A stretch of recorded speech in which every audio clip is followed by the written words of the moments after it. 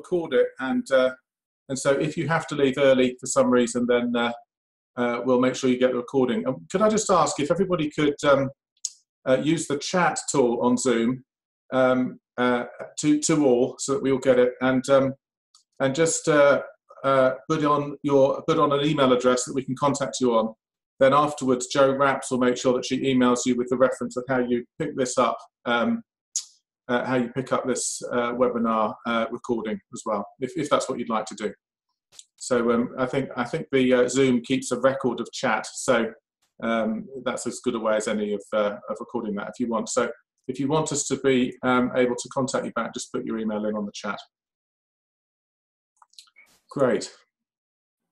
So um, I think there's probably too many of us. When we do the smaller webinars, we tend to just do a little um, introduction of everybody. But I think if we do, by the time we do that, we'd be halfway through the hour. So um, forgive me for uh, not doing uh, introductions and we'll just get straight to it. And uh, what the aim for, the, for today is um, some of you kind of seasoned 3DMers that are online may find some of this a bit kind of too introductory. I hope I hope um, there's still some helpful stuff for you in it. But um, the aim for today really is to give an overview of the things that we've learned um, both scripturally and kind of experientially uh, about the fivefold and how the fivefold works from a 3DM point of view. And I'll refer to some of the work that some other folks have done, particularly um, Alan Hirsch and the uh, what's now the 5Q um, uh, stuff. He's been working on uh, Fivefold a long time before he started um, developing that material. And um, you'll recognize some of the things as well because um, uh, we've worked with him on that stuff over the years. But for 3DM, uh, the Fivefold is one of five main tools that we use, um, uh, which many of you will know. we use shapes to remember those tools. and and uh, obviously for Alan, um, it's become over the last couple of years one of the main things he's focusing on. So I'd recommend, I'd recommend the 5Q book if you want to kind of go deeper than the stuff that we're doing now. Um, okay, well, we'll get going. And uh, if everybody could just make sure that you've, um, that you've got your mute on when you're not talking, then that will just uh, mean that we don't all have background noise. That'd be fantastic. So I'm gonna I'm gonna switch to the whiteboard and uh, the format for today is that what we'll do is I'll do some um, I'll do some teaching for the first probably uh, we'll probably do about 45 minutes of teaching. And during that time, if there's a question that you've got, um, uh, I don't mind if you um, if you turn on your um, turn off your mute and just ask me, or if you want, you can type it into the uh, chat because then that will flag up as well. Um, but primarily, I'll be doing teaching for the first kind of 45 minutes, and then we'll have some time for Q and A um, and to kind of process it together. Um, but do stop me as we go along. If there's things that you're thinking, well, actually, you know, I just need to engage this a bit more, uh, then feel free to do that. Um, and I'm going to use the um, I'm going to use the whiteboard that comes with Zoom. So that means that um, I'm only going to see like about four or five of you once I go to the whiteboard. So waving at me to get my attention if there's something you want to ask won't do much. You, you, you either need to speak out or, or um, put something on the, uh, on the chat, if that's okay. So any any any questions from anybody on on how we're running stuff uh, before we get going? Okay. Um, art. I don't know if that's art. I just see the word art. If, if I'm just going to mute you if that's okay, and um, and then you can unmute yourself if you want to say something. I've got this kind of uh, games master type ability to mute people here, so uh, great. So I'm going to put the screen up, and um, I'm going to start fairly, um, I'm going to start with some fairly kind of uh, 101 stuff. So again, forgive me um, if this is stuff that you know before, but then we're going to, going to kind of go a bit deeper with the things that we've learned in 3DM as we go through the, um, the, the, seminar. Uh, so um, obviously, uh, I'm not going to read the Ephesians 4 passage, but the whole of the kind of fivefold teaching is based on that passage in Ephesians 4 where Paul uh, lists these these five uh, functions um, where the grace of Christ has been apportioned. And um, I believe the word used actually does mean given out in portions. And so uh, that's really where this kind of way of seeing fivefold has come from. And, um, and really, uh, I think it's, um, I think assuming that everybody in the church functions according to one of those, um, which obviously is a very nuanced thing. We're not trying to just put, put people in boxes here. But I think that it's a, it's a very kind of um, much in the stream of the Reformation because what we're doing is there, we're moving away from uh, a kind of more Catholic view that um, this is talking about a small elite of leaders, and instead we're pl- applying it to everybody in the church. And that partly comes from the understanding that we would have at 3DM that actually everybody's called to lead. You know, we're all, uh, to quote Mike Breen, we're all um, we're all uh, sheep from the from the front and shepherds from from behind, and um, so every, all of us are called to lead others. And um, and and the kind of uh, initially assumption biblically, and then kind of the observation that um, people tend to function according to these uh, fivefold. And um, so we've got we've got um, Paul listing them in order. You've got apostle, uh, prophet, uh, evangelist. Um, you've got uh, pastor or shepherd. We tend to use pastor in Europe and um, and uh, shepherd in America because um, uh, in America people tend to call them their ministers pastors, whereas in Europe we tend to call them ministers. So it kind of makes it slightly. I think that's a little indicator there of how endemic the pastoral ministry has become in the uh, in the in the ministry of church leadership. But hey, so we've got those we've got those uh, five, and the the basic understanding that we've had 3D, this is where it starts getting tricky for me because trying to draw a pentagon with the tools that Zoom give us is um, tricky. Um, I'll do my best. I used to be a chemistry teacher, so I should be good at drawing these geometric shapes. I just have to think of pentane or something, but there you go, just about managed it. It's a bit lopsided. Um, but the picture that we would tend to have um, is almost like it's a kind of pentagonal cake uh, with portions being given to each person. Um, so I'm not going to write all the letters on, but each one of those corresponds to one of the five on the left. And uh, it looks like somebody's got um, looks like somebody's got an annotation tool. So, oh, I just got rid of the whole thing by mistake. It'd be great, wouldn't it, if Zoom had an undo function? um, but it doesn't. Um, and so there's a um, there's a picture there of a, of a cake, um, and each of us gets uh, gets a portion of the cake, and um, and then we've tended to interact with the tools um, uh, by thinking of them as almost thinking like that. That's kind of the that's that's kind of like the umbrella. So it's almost if you turn that on its side, um, again, these uh, you're look, you're going to be looking at kindergarten drawing here because I'm trying to draw with a mouse. But basically, it's almost like that's kind of um, you know um, that's that's kind of a an umbrella um, with, within which then we um, we have the, the, the kind of tools underneath, um, uh, which would be the gifts. So um, there's a there's there's a description both of of gifts and of uh, of the fivefold function. And so we've tended to think of the gifts as kind of like a toolbox, um, which which kind of sits under that umbrella. There's my very very poor uh, picture of a toolbox, um, and um, and and the idea being, you know, it's interesting, isn't it, with the with the gifts. Um, on the one hand, it's clear that some people have gifts that are different from others. Uh, Paul's very clear about that in his teaching. Teaches about it in lots of places, doesn't he? Romans 12 and in First Corinthians and so on. He teaches about the gifts, and um, and uh, so he's very clear about that. But um, but uh, at the same time, it feels as if all of us also can desire and want the gifts. And you know, um, Paul tells us, for example, talking about the spiritual gifts, that we should eagerly desire them. And Jesus says that um, how much more will our Father in heaven give good gifts to those who ask? So the way that we've tended to understand that and reconcile those different things over the years with 3DM is we've tended to understand it as a toolbox and uh, the toolbox is available to everyone. But there are certain times where um, maybe the Lord will, the Holy Spirit will take a particular tool out and say, I think you should use this. And we begin learning to use a particular tool. And then there'll be other people who would, um, who would use a tool, a particular tool regularly and get really good at using that tool. And uh, others that may only use that tool very occasionally. Um, and others who there are certain tools in the toolbox they've never taken out, they've never even thought about, they, they don't have any desire to um, access. So, but but those tools still come under this kind of umbrella of the pentagon of the of the kind of fivefold. So it's a bit of a background there, um, and um, and I also just the other little rider I wanted to say is I think it's important that we that distinguish between several different things that kind of use the same um, words, the same titles um, in the Bible um, you have the functions, the five functions, which I believe all of the people of God primarily function from one of them. Um, and I say primarily, we'll talk a little bit more about that in a minute. But um, then you have some of the same things that are mentioned as gifts. So, for example, you have the prophetic function, the fivefold prophet, and you have the prophetic gift, talked about in 1 Corinthians 14. So, you've got those two different things going on.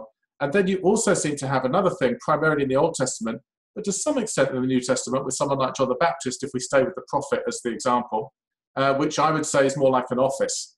You know, Elijah wasn't just a fivefold prophet, was he? He was a he carried the office of prophet.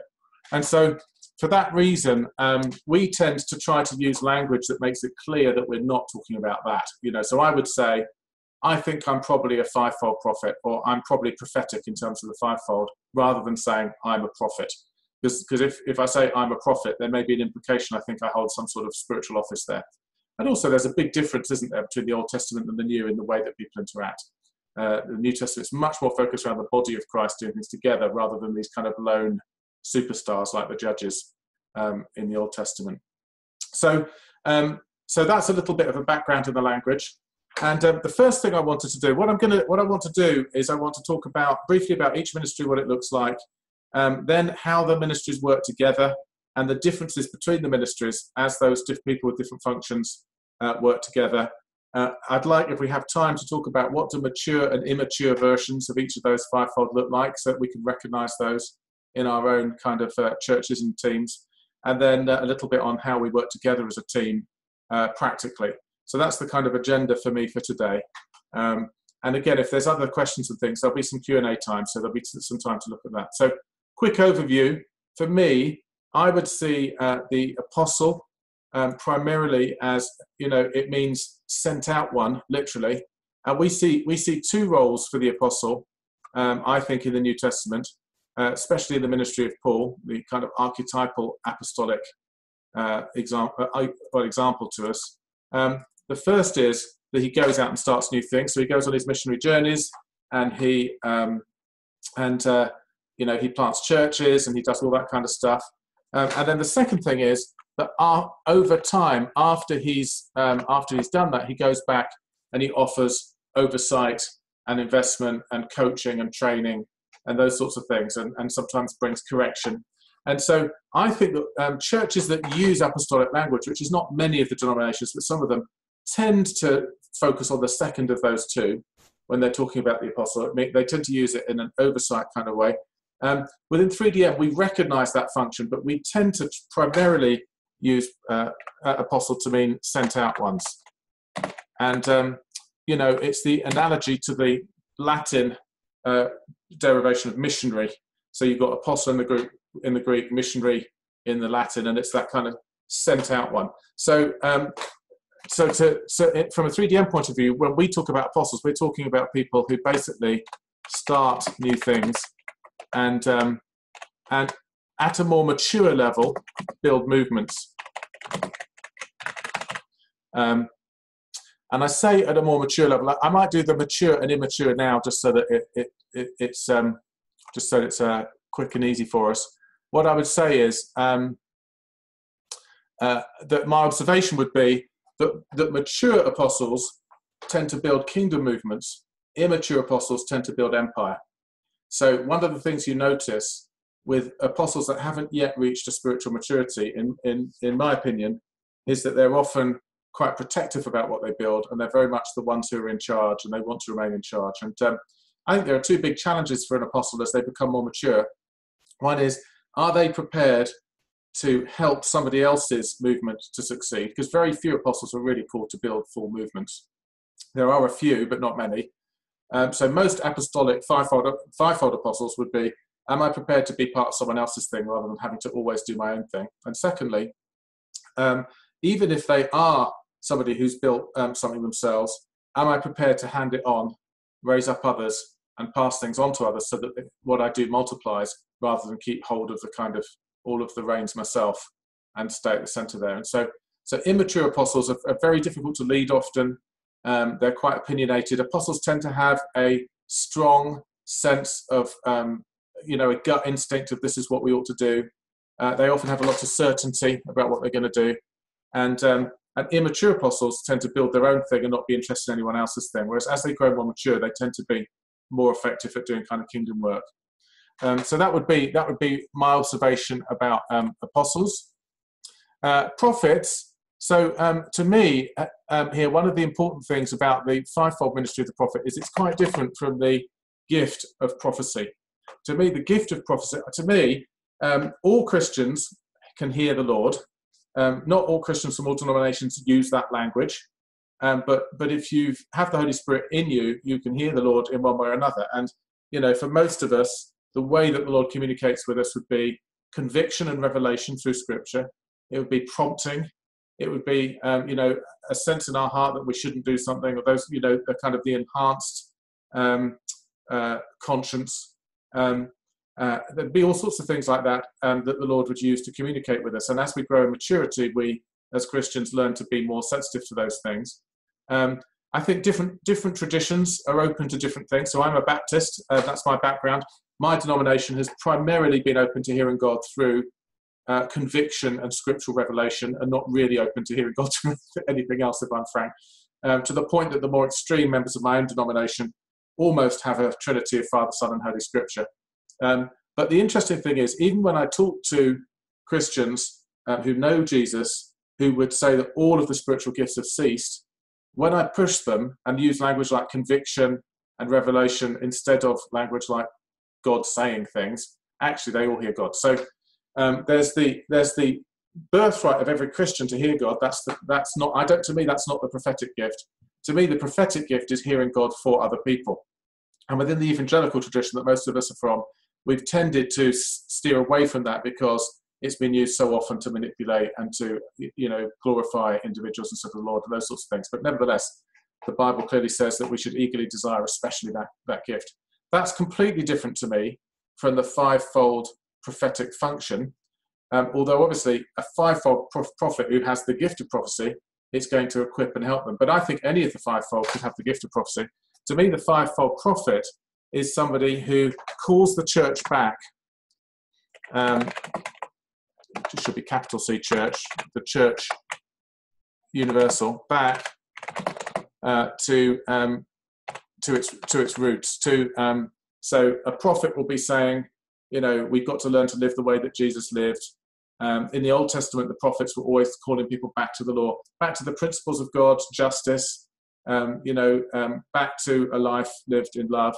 So the prophet is always calling the church back to its roots. Um, and while the apostle is often a, um, a pragmatist in many ways, apostles are often surprisingly comfortable at working in grey areas. Um, prophets aren't at all. They're very black and white. They're idealists. Um, if we're going to do it, we have to do it right. Um, so that's that's my experience. Um, prophets who are immature um, often are abrasive, and they haven't learned how to share the the the call of God um, with the heart of God, and um, and so um, you know immature prophets are often really hard to be around because they'll do very high challenge, very low invitation, um, often not just with their words but with their lifestyle as well. Um, they'll often choose to live in ways that are challenging to others, um, and they want it to be challenging. So a, a mature prophet has learned how to take everybody with them. They're thinking about, a mature prophet is thinking about how do I help this person, this, this brother or sister in the Lord, to operate according to the way that Jesus would have them operate? How do I help them to do that rather than just how do I challenge them about why they're not doing that? And um, so mature prophets become, uh, become very helpful in the church. Um, evangelists, uh, obviously, um, bringer of good news. So they are the ones that um, that primarily uh, reach out to um, to uh, those who don't yet know the Lord.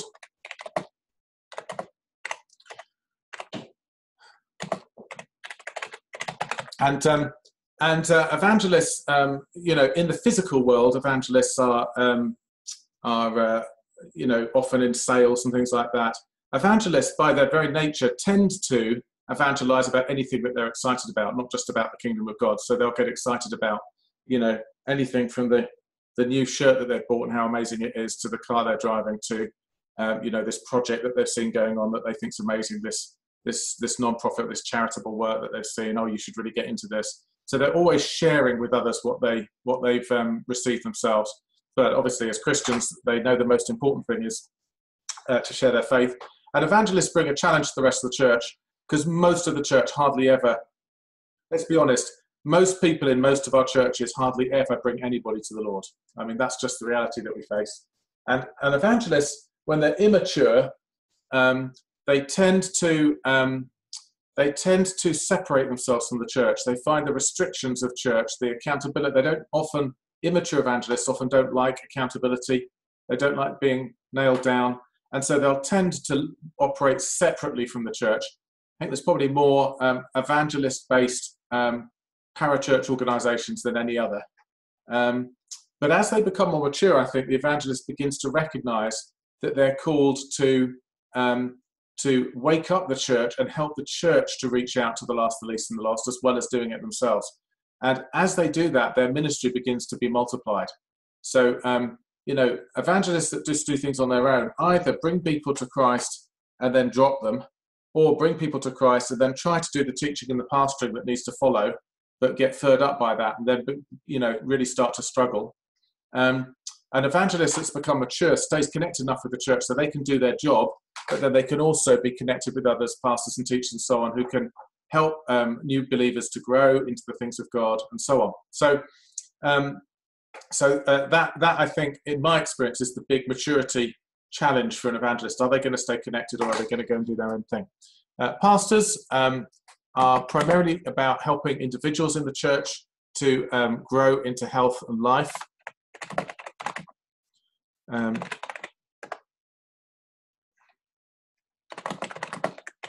And um, and uh, they uh, they're generally people that lots of other people like, and um, there's lots of them. I've noticed that there's a much higher proportion of pastors or shepherds in most churches than the other five, um, uh, and that's a blessing. That's God's blessing to the church.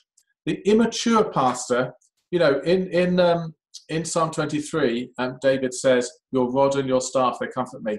To me, uh, you know, the staff was like the crook that the shepherd would use to pull the sheep in when they're they need to be brought close. The rod was um, a, tool of kind of discipline, and uh, I think Phillip Keller, in his book um, *A Shepherd's Look at the 23rd, uh, the 23rd Psalm*, which is just a brilliant book, um, uh, talks about how um, particularly wayward sheep or uh, uh, lambs, particularly, eventually the pastor may, the shepherd may have to break one of the legs of the lamb, and then they would carry it around their shoulders while the leg healed, splint it, and while it healed and after that the sheep the sheep wouldn't run away anymore because the sheep would lead others away when they ran away. Um, the immature pastor has the staff has the staff but not the rod, so they do invitation but not challenge. And the danger of that in a church for you, if you've got pastors in your church who are immature, is sometimes as well they tend to take up causes based on somebody being an underdog rather than based on that person being right. And so you get somebody who starts to nurse a grudge about something and they speak to a pastor, and rather than stopping to think, does this person actually need to repent? Are they being wicked? You know, they just think, oh, poor you. And then they start to take up that cause as well, and that can be destructive. So mature pastors do, do challenge as well as invitation. And then uh, the teacher, the teacher is holding out the truth. Um, and I think this is um, really about um, uh, uh, if, if perhaps the pastor is growing into health and life, um, the teacher is more about growing into uh, maturity and knowledge. And um, and uh, the, the teacher, um, you know, loves the word of God. Obviously, is going to be sharing sharing the word of God um, all the time. Uh, they want to hold out the truth that sets people free, um, and they know that freedom comes from um, from the truth of God. Um, but an immature teacher tends to focus on intellectual capital rather than spiritual capital, i.e., you should listen to me an immature teacher would would would say they might not say this out loud, but this is what they'd think. You should listen to me because I know more than you. Whereas a mature teacher would be thinking, um, the reason that people should listen to me is because I've already gone to the places I'm calling people to go to. I, I'm I'm operating out of spiritual capital, not just physical, uh, not just intellectual capital. And that's a big challenge for us in most of our churches because most of our churches appoint leaders based on intellectual capital um, rather than spiritual capital. So most churches have their pastors um, are the pastors because they know, know, more about the Bible than everyone else, rather than because they um, because they've gone already gone to where they're calling everybody else to go. And so the immature past, uh, the immature teacher builds intellectual capital without building spiritual capital, whereas the mature teacher builds both. Um, and you know, it's it's the it's um, it's the wise and foolish builders, isn't it? Um, Jesus says, you know, now that you've heard these words, if you put them into practice, that you're wise. Well, um, and Paul says, um, you know, that Timothy should tell people that Timothy would tell people of his teachings which agree with his life. And so, a good teacher, when they teach, their teachings, a mature teacher, their teachings agree with their life rather than being something separate from their life. So, there's the five. That's the kind of introductory. That's the kind of 3DM, if you like, view of the of, of in in a nutshell of the five. Um, and I'm going to I'm going to move on to think a little bit about how they work together. Um, but just a couple of minutes before we do that, if anyone's got any questions or comments, just take yourself off mute and speak out if there's any comments or questions on that.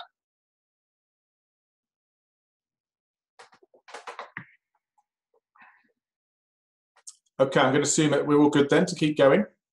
Um, and what I'm going to do now is I'm going to borrow some stuff from Alan Hirsch that um, we've used. We had lots of conversations with Alan back in the day, um, and uh, and uh, I, uh, I, some of that stuff was very helpful. So something that Alan did, and I, I think this was in the Forgotten Ways, was um, he he did a thing where he um, he he kind of put them almost like they were surface area. So the biggest surface area was apostle, then you've got prophet, evangelist, uh, shepherd, and teacher.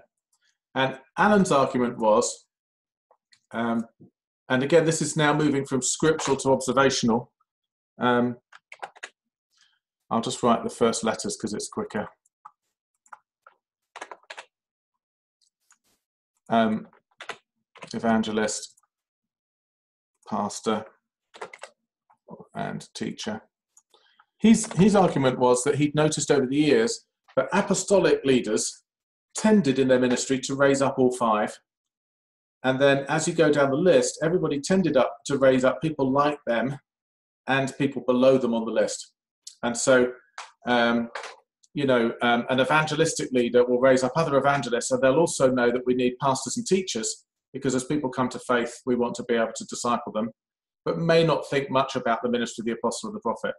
Um, uh, many churches, um, I've heard argued that many um, churches uh, have gone over the years, uh, particularly within perhaps the more reformed traditions, which are very teaching orientated, to the point where um, you know uh, church leaders need to either be teachers or pastors or teacher pastors. And um, and the thing is that once that gets established, I've heard Alan argue, um, then uh, the problem there is that then you tend to just get generations of teachers and pastors and nobody else, um, and the other ministries start to kind of get sidelined.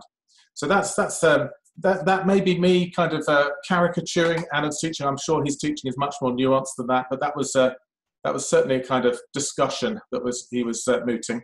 Um, and we would say that one of the things we've noticed about that is I, I think observation that in general is fairly true, but something that we've noticed in 3DM is that there's another kind of qualifier of that, which is um, leadership capacity. And we tend to use in 3DM, we tend to use the, the L kind of uh, marker. So L, an L1 would be someone with a leadership capacity to lead one other person, an L50 to lead 50 other people, L100 and so on. Um, uh, that, so um, that, that's the kind of uh, language that we, have used. And, um, and what we've noticed is um, that, um, that generally um, if you've if you've got somebody who's got a, a lower leadership capacity, um, uh, then uh, uh, then their ability, even even within their own fivefold function, um, their ability is going to perhaps be less than someone of a different fivefold function, but with a higher leadership capacity. So, for example, um, in general, I think I would agree that it's true that it's hard for teachers to raise up apostles and prophets. They tend to raise up teachers and pastors and maybe some evangelists. Um, but if you have, say, a, I don't know, an L500 teacher, a very highly gifted uh, teacher, then they may be better at raising up apostles than an L10 apostle is, you know, than someone, someone who actually is a fivefold apostle, but who um, has a lower leadership capacity. So um, I think all of us grow, all of us have an inherent kind of starting place in leadership capacity, but I think discipleship can grow our leadership capacity considerably. I think it's very rare to have even very gifted people who naturally, in their own in their own kind of right, have a leadership capacity of more than say about 150, maybe 200 at the absolute highest limit, which is about the limit of what one person can relate to. I think as you go above that, it's people who are learning or being discipled in um, how to lead teams, how to lead others. Well, oh, most most of that stuff, some people can do it um, just you know instinctively, but most of us have to be trained to do that stuff. And as we do, then our leadership capacity increases. I think. But the reason that we would argue that um, that leadership capacity as it increases increases our ability to raise up all five is that it feels as if although we have a base ministry as we as we learn to be more like jesus and we go through the life that he lays out for us Jesus, of course, is the ultimate example of all five of the fivefold. As we become more like him, he tends to take us through phases of the others. So you may be a base ministry pastor. You know, the heart of who you are is that you really care about people. You want them to be healthy. You want them to be whole. You want them to, you know, know God's love and those sorts of things. And um, but it may be that you know you go through a phase where you think it's a strange. Although I'm really a fivefold pastor, I'm pretty sure I am. Right now, I'm in an evangelistic phase. I just have got a lot of passion for the lost trying to reach out to people and help them to know God. And you go through this phase, and it may be for weeks or months or even a year or two. But then there comes a point where you just begin to feel the grace to do that beginning to diminish a bit. And You think, "Gosh, this is much harder than it was," and um, and then um, probably what you have to do is go back to your base ministry and just do that for a while, and then and then maybe a few months later you might find that you start going into this prophetic phase where you become very passionate about you know we need to really learn how to walk like Jesus, and we're getting, you know, we're getting um, focused on all these things that aren't really that important, and we need to make the main, the main thing the main thing, and uh, you know, and you may have a season where you're more in a more of a prophetic phase, and then after a while you come back to the your base ministry.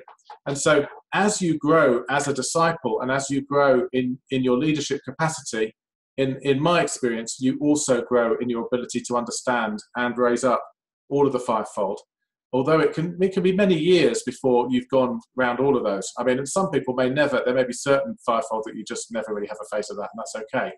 But um, so that that would be something that we noticed. And what we did with um, Alan's thing of these different surface areas, which we found um, uh, perhaps a more helpful way uh, to look at it, was um, we instead um, did it more like a um, more more like a, a pyramid. Um, one, two, three. What have I missed? I've missed. I've missed pastor. Sorry about that to all those pastors out there.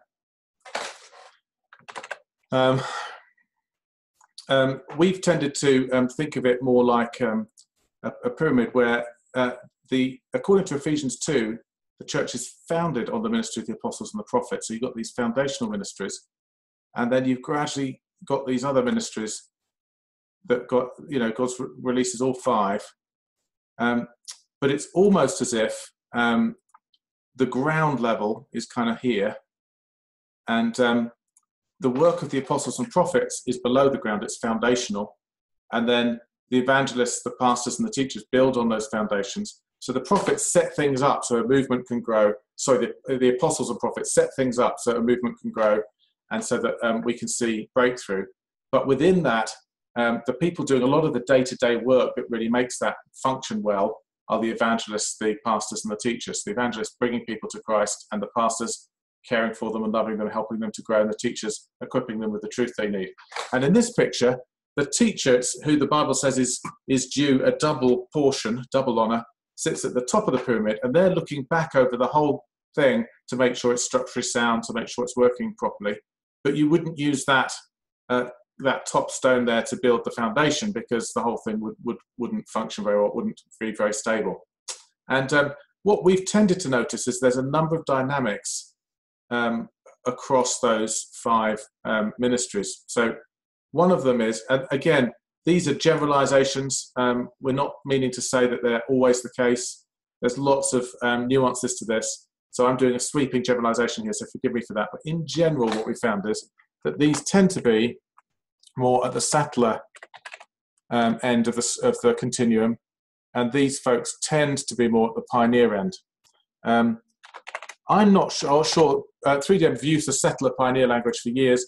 I'm not sure I like it that much because I prefer, in some ways, developer to settler. Um, you know, if you're using the, the analogy of the Wild West, uh, the pioneers, the real extreme pioneer end of the spectrum, but the trailblazers going off, you know, killing bears, uh, finding mineral deposits and, and, lakes, and finding places where people can settle, finding passes through mountains. Um, those are the pioneers. Whereas the settlers would be, um, you know, the people staying back in New York and learning how to build skyscrapers, you know, and um, and so um, you know it's. Uh, um, you know the church needs all of those and uh, there seems to be a bit of a range there so teachers tend to like existing teacher pastors tend to like existing pathways existing structures because that then gives them they don't have to worry and think about those things instead they can think about the word of god they can think about the people of god and how they help them to um, grow and become healthy whereas apostles prophets tend to feel quite uncomfortable about very established pathways because their job is to create the pathways, and so usually they can see what's wrong with the existing ones, and they're wanting to, uh, you know, develop. And Paul says, doesn't he? I didn't want to build on another person's foundations, and so there's that kind of thing going on. So that's one thing we've noticed on a kind of continuum. Another one that we've noticed is that these folks tend to think uh, inductively, and these folks tend to think deductively. Um, by which I mean, um, oh, that didn't work. Let's try again. Um, by which I mean um, that um, the the uh, the apostles and prophets tend to be doing blue sky thinking, possibility thinking, you know, starting from a single thing, a single seed, and you know, expanding out all the possibilities. You know, well, we could do this or we could do that. Or what about this? Um, whereas um, teacher pastors tend to be more deductive. They'll look at all of the different possibilities and start reducing them down to tried and tested principles and practices and doctrines and so on. And, and so this is always true. They're, they're much more interested in what is always true, what is always works, than perhaps um, the folks at the other end of the spectrum are much more interested in what might work, you know, what, what could work. Now, one thing I've noticed from a team point of view that's worth thinking about if you're a team leader is that inductive and deductive conversations do not operate well in the same meeting at the same time. Because uh, the inductive folks will say start saying well what about why couldn't we do this? What about that? Let's try this. And then the deductive folks will say here's why you can't do that and here's why that doesn't work. And and the deductive process tends to shut down the inductive process. So what we did in sheffield when i was leading the church there was we tended to have meetings where we defined which one we were doing. Are we doing blue sky possibility thinking there's no wrong things to say. Let's just try and get a sense of what's out there. What's God saying? You know, what are the opportunities that are in front of us? And then later we'd have meetings that were much more okay, now let's actually uh, begin to thin out this stuff. Let's get rid of the chaff. Let's begin to work out what actually works and what doesn't work. And let's begin to make sure that we what we're passing on to people is stuff that's going to be useful. I would say, for example, the, the 3DM LifeShapes, I was part with Mike back in the 90s of developing some of those. And I would say that um, we totally went through that. I mean, when we first started talking about the semicircle, we were talking about simple harmonic motion, the acceleration at the middle, and you know the stop at each end. And we were we are talking about the Celts and the, their rhythms and their seasonal rhythms, and I mean, you name it. We we did all this expansive stuff, but in the end, what we needed to do was to was reduce it down to a, a simple teaching and a simple tool that other people could apply, and that was a deductive process. So I'd say that's another thing I've noticed. And then another thing I've noticed is that um, we tend to be focused at the teacher pastor end on individuals and at the apostle prophet end on the movement. Um, and so, um, you know, um, let's just make clear that these are all still part of this. Uh, they're all on these same spectrums. So, um, so uh, I, I, don't know whether this is just an interesting thing, and it may not be correct. You can decide whether you agree with me. But um, one thing I've noticed is there seems to be a link between the teacher and the apostle and between the pastor and the prophet, which is this. To me, the apostle primarily focuses on the growth of the movement, the growth of the church, the growth of the organization. They're primarily thinking about how do we grow this thing out and expand it. The teacher is primarily focused on the growth of the individual. How do we help individuals within our church to grow and become mature with the word of God? Yeah. Prophets primarily tend to focus on the health of the movement. How can we make sure that the movement is doing the right thing? Um, those of you that have been with 3DM for a few years will know that we had a, an unhealthy time, let's be honest, a few years ago where there was some relational breakdown. When 3DM Central stopped, there was a time where there were some broken relationships. It was tricky, you know. Um, and I was asked to basically come and lead the new non-profit 3DM um, uh, three years ago. And um, why would they ask me? I'm a five-fold prophet. Why would I be leading a something that's designed to be a movement? Surely that should be someone apostolic. I think it's because we needed a season where the focus was on the health. And actually, I've been focused on how, are our relationships right? Are we functioning in the right way? You know, where have we slipped into appointing people based on intellectual capital rather than spiritual capital? You know, one of the principles I brought in for 3DM uh, communicators was it's not just about how smart they are and how good they are at sharing the tools and the quadrants and things on the whiteboard. One of the things that we need to check before we um, accredit someone as a communicator is um, when it comes to q&a are they using multiple examples from their own life or are they just quoting from a book or from stories that they've heard because if they're not yet using multiple examples from their own life they're not yet ready you know that's a classic prophetic call isn't it? That's the kind of thing the prophets focus on. And then pastors they're also focused on health but they're focused on the health of the individuals within the church. It's kind of interesting isn't it? So there's these kind of links between those two. They're the two groups that are kind of paired. Teachers and pastors are paired by the language in the ephesians 4 passage itself some to be teachers and pastors. And apostles, apostles and prophets are, are linked in uh, Ephesians 2, where Paul says the church is founded on the ministry of the apostles and the prophets. So the one that's in the middle, evangelist, in my experience, the evangelist job, and this is why evangelists are so uh, crucial in a church and how we, why we must make sure as leaders that we we know who our evangelists are and we help them to become mature and not separate off from the church but stay connected um, is that I think evangelists are actually all about connection evangelists understand both the, the importance of individuals and the importance of movement. Evangelists know that we have to win the world, but they know that we're going to win the world one person at a time. And, um, and the evangelists actually, I find that when evangelistic ministries are released in the church, the teacher pastors and the apostle prophets can get on with each other much better than when evangelists aren't in the church. It's almost like the evangelists provide a context within which the apostles and prophets can build strategy and come up with how we're going to grow the movement and the teachers teacher pastors can help people to grow and become healthy and reflect you know um, what christ is. And um, and the evangelist when when the evangelist is mature enough to function within the church as well as outside of the church part part of what they do is they bring those together. But the evangelist also connects the church with the world. And so the evangelist is constantly saying we've got to get out there. We're way too inward looking. And so um, if if the teacher and the apostle are both to do with growth individual and movement.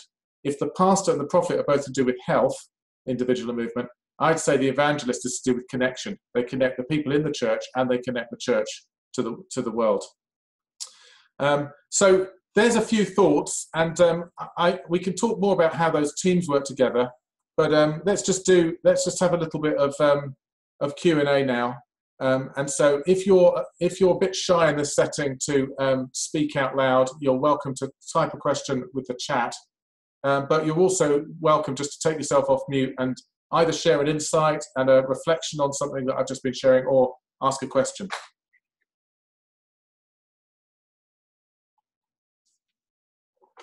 Somebody has to start us off could you mention one more time the Alan Hirsch diagram, the APS diagram with the squares uh, and the surfaces? Mention one more time. Just explain that in 30 seconds one more time. Sure. Who was that? Who was that? Who's asking that question? I couldn't see who it was. Mike Thomason. Okay, Mike. So uh, all, all I think, uh, my understanding, this might be a, a slight misunderstanding of Alan's stuff. You'd have to talk to him um, to, to get his kind of take on it. And his take may he, he may have evolved since then. But it, um, the thing that he was basically saying was he'd noticed that generally, um, if you have apostles uh, in leadership in a church, you find all five of the fivefold ministries being raised up and released. Um, if you have fivefold prophets leading the church, you tend to have most of them, but not many apostles being raised up. If you have evangelists leading the church, and that would be an evangelist leading the church, would be a lot of the seeker sensitive type um, mega churches are led that way, aren't they? You tend to have other evangelists being raised up and also teachers and pastors, but not so many apostles and prophets. That certainly fits um, my experience. So I work one day a month with Crossroads Church in Cincinnati, which is a huge seeker sensitive church. They, I think they have 30,000 on a Sunday over seven campuses. And um, the guy who led it, um, Brian Tome, I, he may not agree with me, I don't know, I've not talked to him about it, but I think he's primarily an evangelist. And um, he's a, I don't know what his leadership capacity would be, but it's in the thousands. I mean, it's like he's an off the chart gifted leader. Um, but even then, I've noticed when I spent time in that church that you tend to have mainly evangelist teachers and pastors or people who express themselves that way. And I think that they, as a team, they've realized that over the last six or seven years. And one of the things that I've been doing representing 3DM with them is helping them develop the apostles and prophets. And uh, so they've realized that. And then, you know, as you go down, I think the, the thing that um, Alan's noticed is that in a lot of the um, more traditional uh, denominations, it's reduced down now to basically if you're going to be a minister in the church leading um, God's people, then the two kind of routes are open to you is a pastor who can also do, a shepherd who can also do good teaching, or a teacher who also knows how to shepherd. Um, it's the pastor teacher thing. And uh, not much room in certainly the more traditional denominations for the other three. And so it's just that sense that um, really, in a way, that uh, it, I think what Alan was saying was it was a function of the foundation building of the apostle prophets. That if you don't have apostle prophets in the mix, you don't tend to build a big enough foundation for everybody. It tends to just make room for the folks who do the teaching and the shepherding.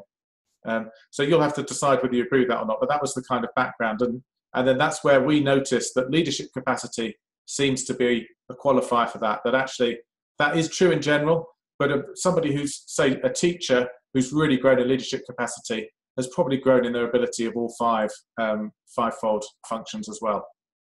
Does that does that is, is that enough, or is there something else you wanted to ask or comment on with that? That's good. Thank you. Anyone else?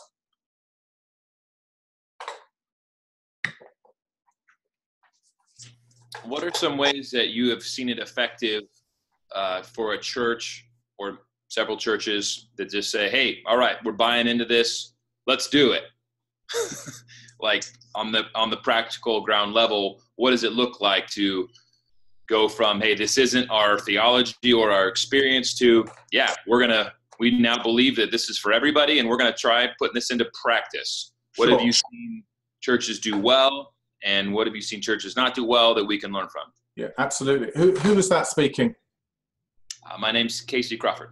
Okay casey thank you um, I think the thing, the thing I've noticed is, and you guys, if you've done any of you who've done any 3DM stuff know that we we often use that kind of um, that kind of pioneer settler bell curve, um, where we talk about um, the idea that you know in any in any group. Oh, I'm quite impressed with that. That's quite a good one considering I'm using a mouse. That in any any uh, group, if if along the bottom you've got um, uh, let's say pioneers up at, up, up at one end and uh, settlers at the other end. Um, um, and most people are somewhere in the middle. But um, you've got your kind of out out there pioneers, probably apostolic. They just want to head for the horizon, start new stuff, make it all work.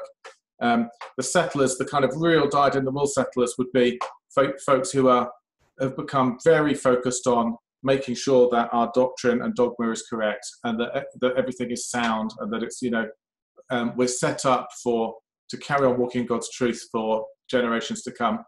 Um, um, that uh, that one of the contexts I think for having a decent um, conversation about fivefold is we have to make sure we have a, a culture that values everybody on that spectrum.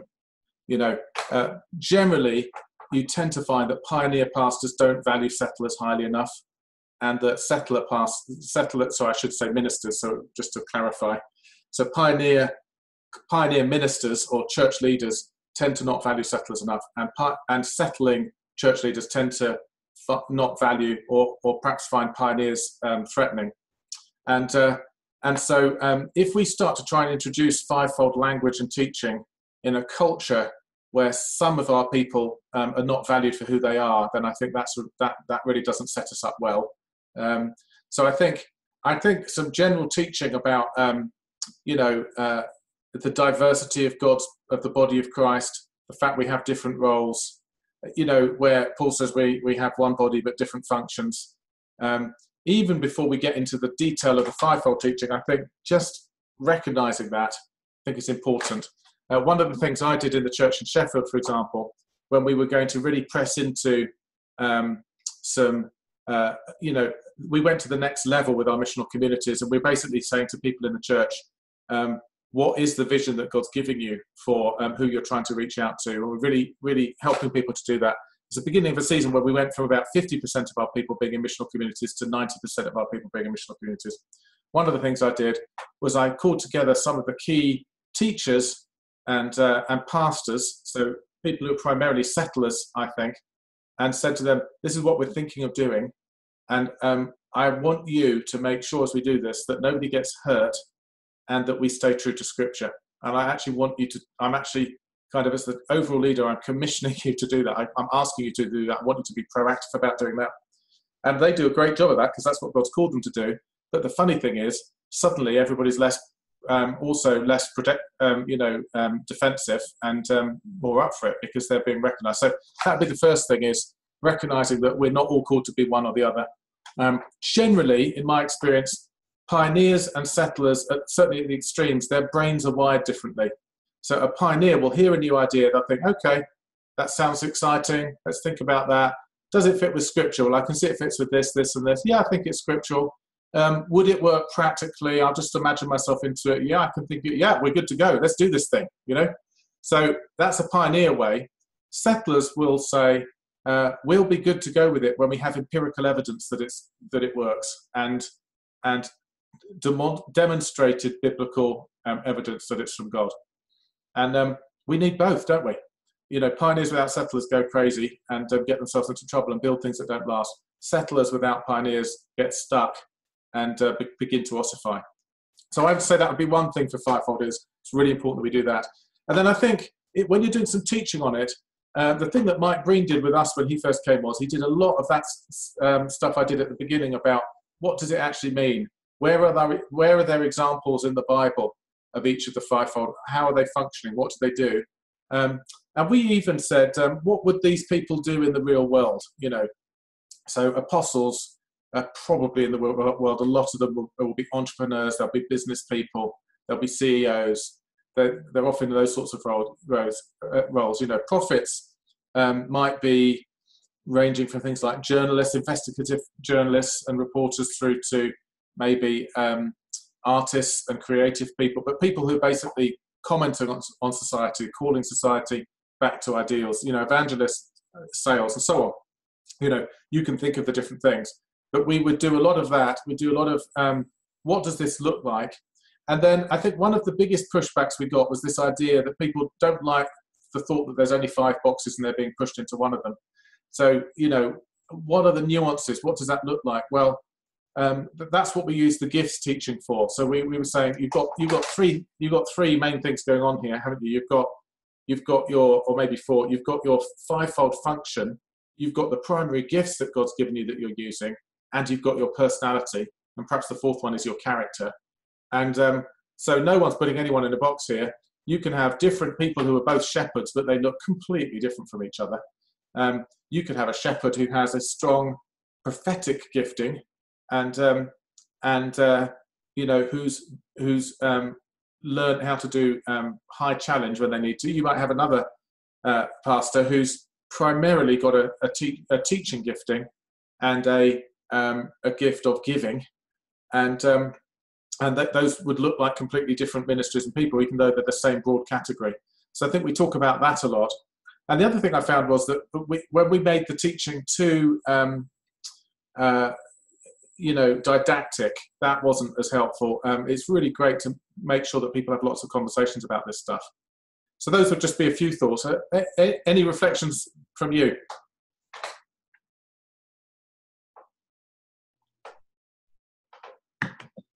Okay, go, go for it. Okay, anyone else? Any any other questions, thoughts, comments?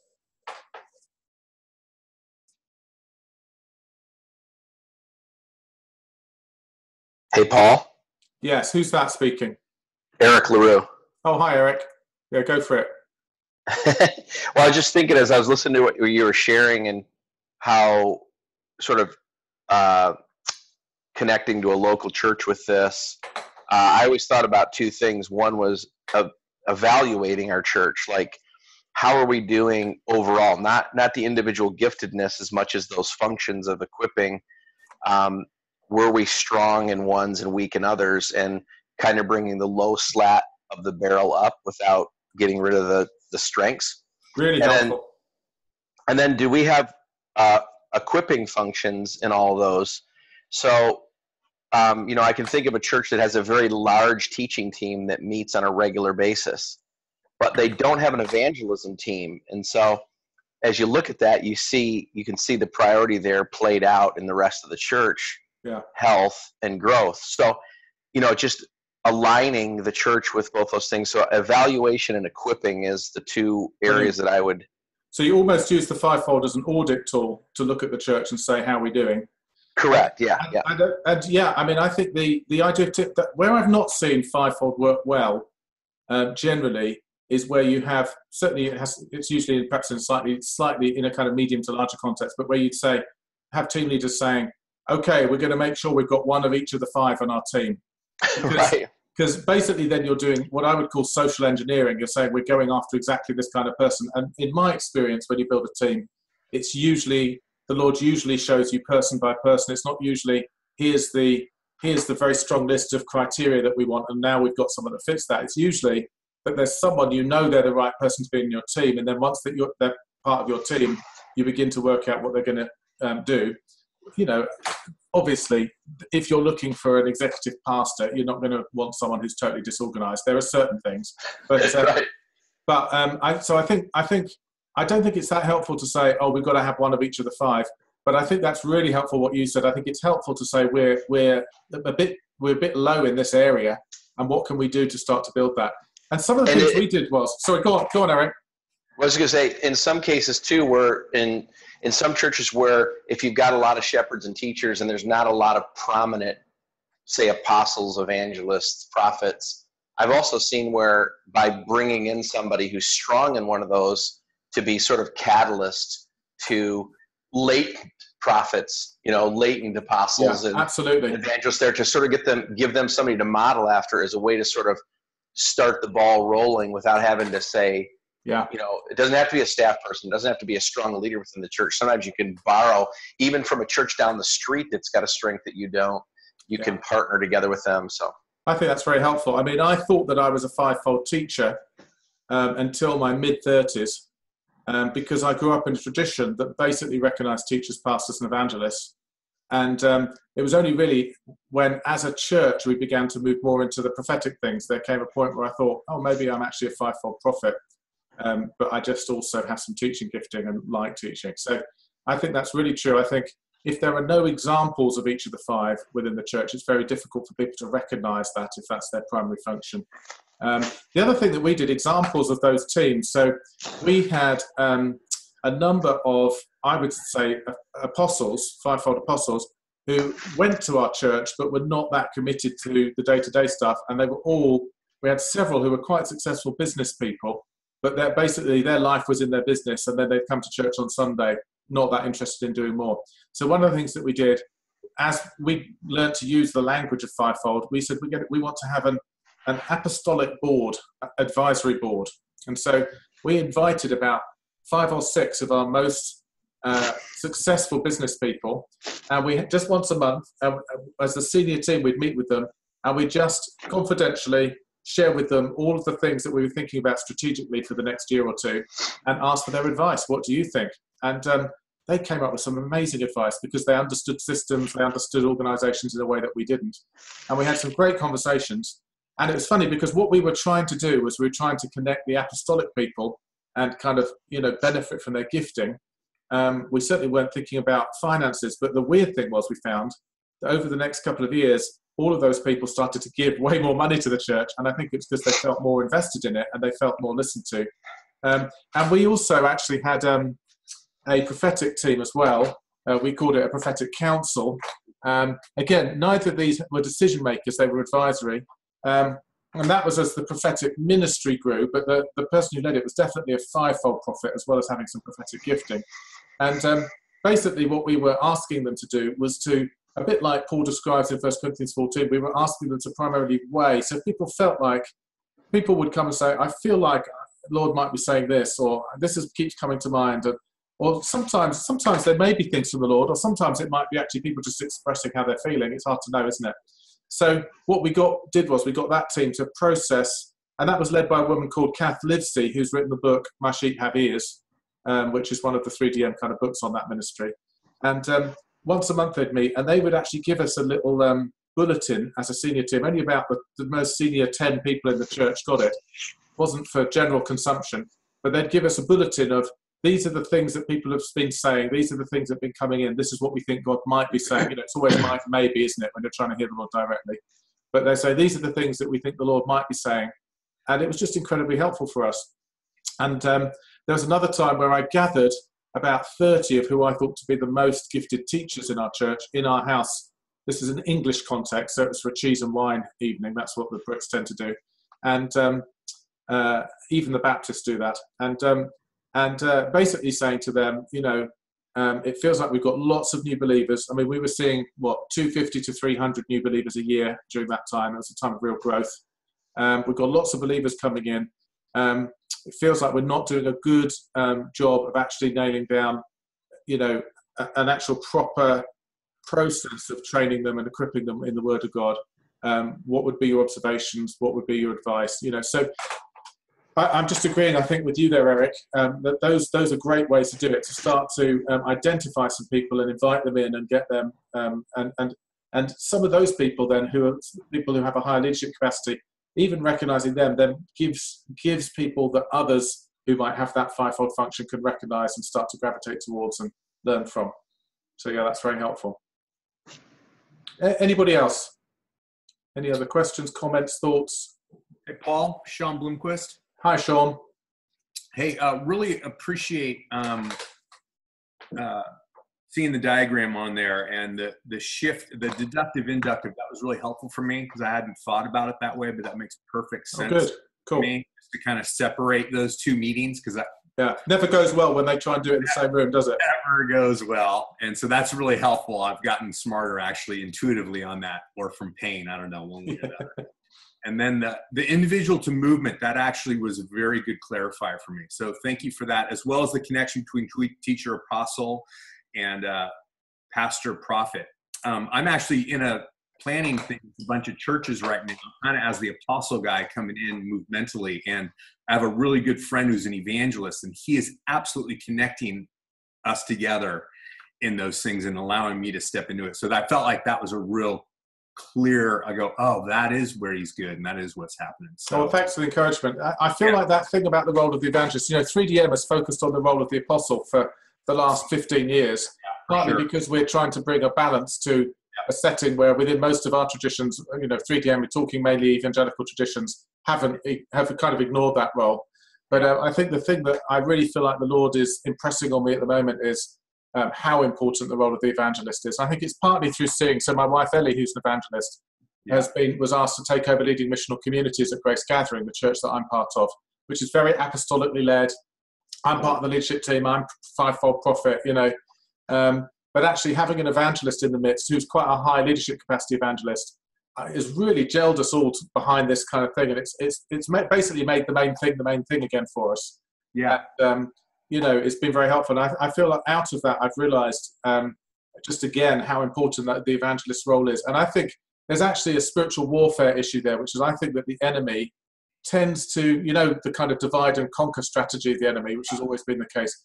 I think the enemy is always working to try to separate evangelists from their local church.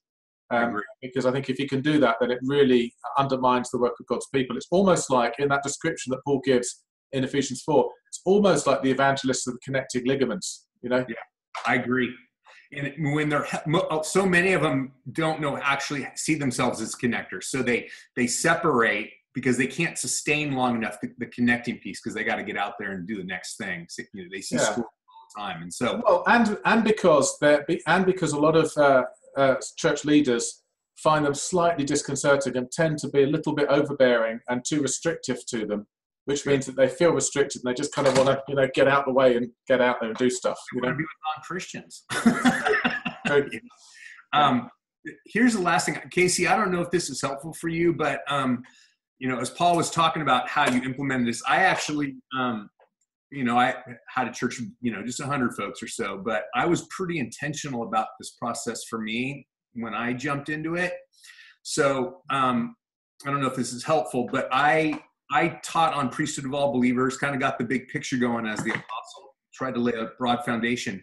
But then because I freaked people out as an apostle and a pioneer, I had an early adapter pastor teacher that actually came in in the middle there and he was kind of he could un, uncircle the wagons and he was between me as the pioneer yeah exactly out there but he could communicate well so I, that may be you and so we did the big picture. Then he taught on the fivefold and began to bring that in. And we had a, a, a long series kind of getting into the drinking water. But then what we did is we put together um, a day where we did personality stuff, but then we did the fivefold. Um, and I actually had everybody take the test beforehand and be ready, taught on it, did a lot of the stuff that um, Paul did here. And then I had everybody stand up and, you know, as we know, probably 70% of our people in our churches are pastors and teachers. And the way I got them there was through all my huddle leaders. So everybody, elder, everybody brought their people. So it was a full, full court press on this thing. And we had a big lunch, but it became a training thing that we help people begin to discover their wiring and, and their gifting. It was a real win for us. And when we had everybody stand up, we put like all the pastors got in one area and all the teachers got in an area. And then evangelists and uh, prophets and apostles. And it was just this fun thing to see, you know, 60 people in a room. And I go, all right, pastors. And like, you know, half the people are all excited, you know. And I said, all right, apostles. And there's me and like one other person. Woo, you know. And what it did is it just helped us understand how we all operate. And what I was able to do as apostles is say, in the in the best term, is I'm not your pastor. And what it did is it empowered the priesthood, but it also said, you guys are the ones who are pastoring and huddling and teaching and passing, and, and, and you guys are the ones who are going to multiply this way of life out because you all know I freak you out. And they're like, oh, yeah, you do. Anyways, that, that just, that kind of helped solidify it and take all the focus off me as the apostle and had an empowering day. And, you know, we ate lots of food, kicking pants. That's awesome. Thank you. That's, uh, sounds, that's one way we kind of took like a six month ramp to really press into this from from teaching and being strategic about it. And then I took got everybody's lists and names and who they were, and then I started launching out and taking prophets and training them and evangelists, and then I worked it out. And that's where you start doing that stuff where you work with the different teams, isn't it, Sean? Yeah. So that was kind of the process I did. We ended up having a killer prophetic ministry in our church. We did a lot of training around it. So that's that was kind of a way I did it. Part half of it was intuitive, obviously, but now looking back at it, I go, oh, okay, well, there it is. so that fits what you're describing there. Really is is that thing that 3DM has taught on a lot of the learning communities about as you work your way down the bell curve, isn't it? That the, the out there pioneers are never going to be able to speak to the out there settlers. They've got to speak to the early adopters, and then the early adopters, as they get it, they they can speak to the majority or the late adopters and so on. It gradually percolates through. So I think that's uh, that's part of what you were describing, practical example of that, wasn't it, Sean? Yeah, and it really helped our huddles because then the pastors felt empowered to go, "Wow, I'm actually the leader in empowering these people," and and Sean's not the one doing it all. And it, it took it made that real significant shift for us. So great, thank you, Sean. Thank you. Anyone else? Any other? We've, we've got probably about five minutes left. Any other comments, questions, uh, thoughts?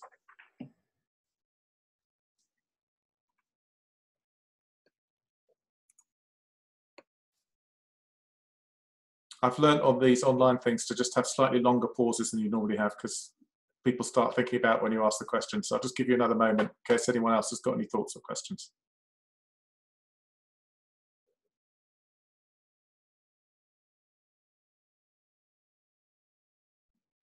Great. Well, I, I, hope that's been useful to you. And um, again, I'd say I just recommend uh, Alan Hirsch's uh, 5Q book. That was actually written um, uh, by Alan, but with um, Rich Robinson, who heads up 3DM Europe, who I trained up. Uh, his wife um, helped Alan write that, so it's all connected to all the same stuff. and he goes into more detail there. And I would really recommend, if you haven't already, doing just the kind of thing Sean was talking about, having these conversations in the church. I think it's a natural outflow of the priesthood of all believers. So that's a great place to start, isn't it? And um, and uh, oh, let me just check. I think someone's just uh, written in a, uh, a chat there. Oh, okay. It's just just uh, saying goodbye and thank you. So um, if you want to take a screenshot, do do that. And we're going to um, we're gonna we've recorded this, and so I'll get Joe to send um, Joe Raps to send everyone who's written their email in the chat. So if you came on late, and you didn't hear that.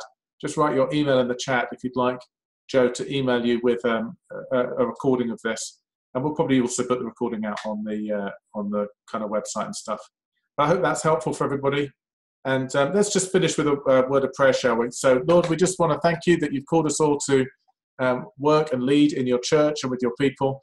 And we really want to see the church functioning as a, as a whole body with every supporting ligament growing up into the head and not being immature but being mature, Lord. And so we, we just pray that you'd help us to um, uh, really work with all of the five different functions um, and ministries in our church and release them, and uh, that we'd see breakthrough in our churches with this. Amen. Thanks, guys. Great to hang out with you.